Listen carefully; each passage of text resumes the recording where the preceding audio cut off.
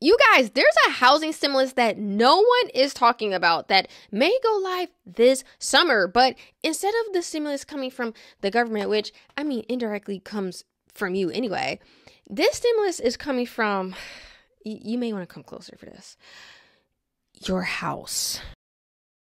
So clearly, I'm starting this thing off with sarcasm because I have a lot to say about this so called proposal that the media is pushing, and your favorite internet real estate gurus are like, oh, yeah, second mortgages are coming. Woo! If the government inserts themselves, similar to the first lien the first mortgages where essentially they free up capital and they do give a level of insurance to lenders which is then able to pass on a better rate to you and also more flexibility for you to qualify. Now, the negative about this is why do you need to take on more debt?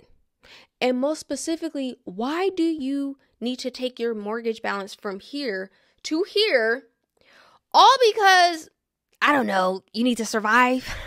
Also, look at this most ridiculous art- article out one out of many. The US could give homeowners a $980 billion stimulus at no additional cost, Oracle of Wall Street says.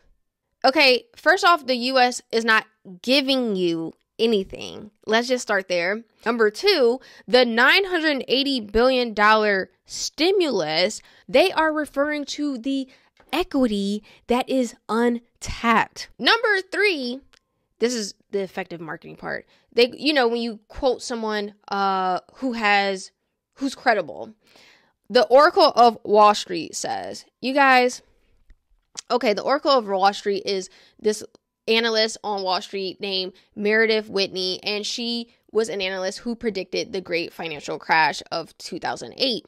And so, my biggest thing with all of this is do have we not learned anything from the great financial crisis? Whitney points out that Americans are sitting on a massive and growing pile of home equity, but little of that is being tapped. More widely available home equity loans would be a boon, in particular for older Americans who are taking on more debt than other age groups and are at growing risk of a financial shock. Okay, stop. Let's stop right there. Like I said, that is, this is kind of predatory. What do you mean older Americans who are at growing risk of financial shock? They're on a freaking fixed income and the prices went from here to here, what do you think is going to happen? Approval would also be well timed. The proposal noted that options are limited for homeowners who want to tap their equity, meaning that few are benefiting from the housing market's appreciation. Okay, what do you mean few are benefiting? You benefit from your home appreciation when you are ready to sell. You benefit from your home appreciation when you are ready to pass it down to a family member. You benefit from your home appreciation when you're actually going to use your money to leverage yourself, not to combat the foolery that goes on.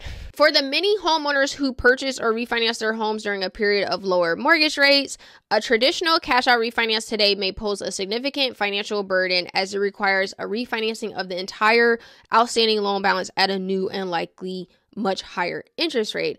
Because you guys know most people have 2 to 3% interest rates, and to refinance a $500,000 mortgage, the entire thing, all because you need maybe you know, a hundred grand, that the interest is going to be like, so that is, of course, the benefit of doing a second mortgage because you can just leave that first mortgage right there and then you get the second mortgage. So less so like i said if you want just a hundred thousand and even though it's a hundred thousand at maybe a six or seven percent that's less of a financial impact to you Freddie Mac's participation seeks to offer a cost effective alternative.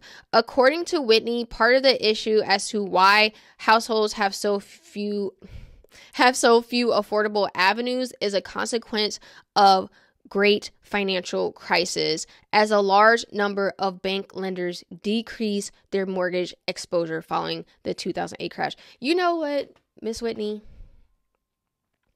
They're called guard guardrails for a reason. Okay? Because back in, you know, uh prior to 2008, you can you could write your income on a napkin and get a loan.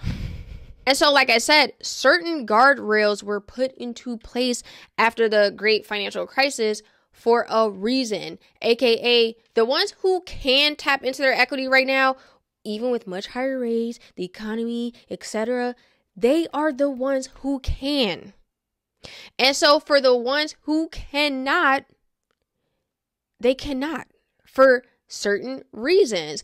And I say that with love. And also, contrary to what many have been led to believe, the 2008 crash was caused primarily by refinances, not purchases. So during the years of 1999 and 2008, 58% of 30 year mortgages were refinances. So what we do not need is anyone, aka Freddie Mac, who's overseen by the Federal Housing Finance Agency, whose director is appointed by the president AKA, these agencies are supposed to be advocating for housing policies, not playing politics. And so, like I said, to the naked eye, when you see headlines like this floating around on the internet, you know, and when this thing goes live, this Freddie Mac, and also when it goes live, technically they put it out in the pu- for public comment for feedback.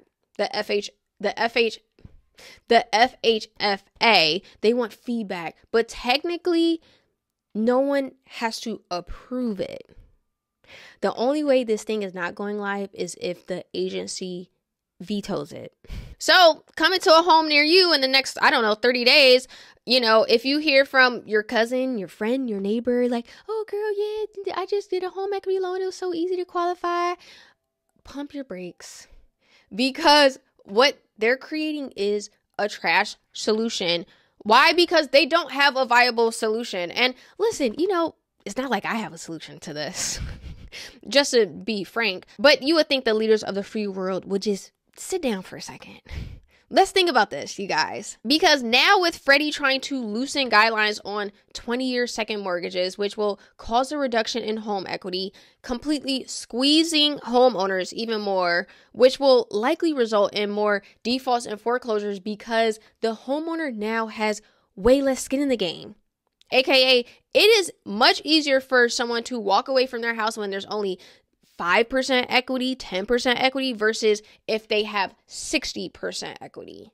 And, you know, you guys know I'm a glass half full and educated type person because I've been saying this in all my videos. I do not believe a housing crash is going to happen because the education piece it is a complete supply and demand issue that's going on.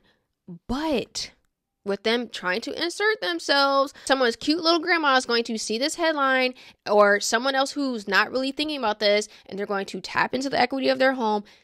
And then what is going to happen? What is going to happen to some people who do not understand or, or who are not prepared for that? And so here's where I'm at with this whole second mortgage pulling cash out thing so we can wrap this up.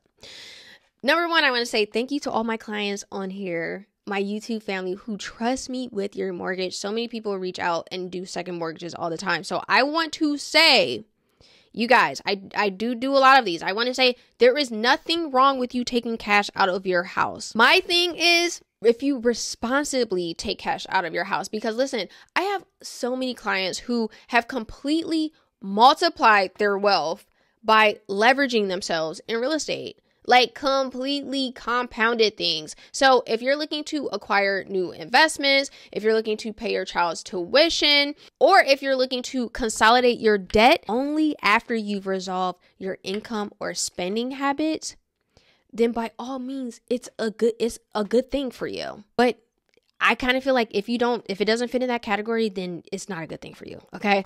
Um so what do you guys think about the recent promotion of second mortgages if you've heard of it. If not now you know was floating around on the internet. Um let me know what you guys think in the comments below and until next time